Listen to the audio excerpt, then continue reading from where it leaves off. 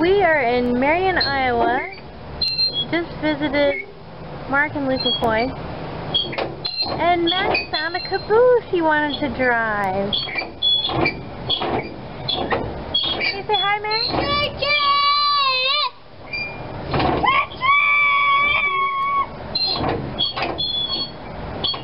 That looks like fun!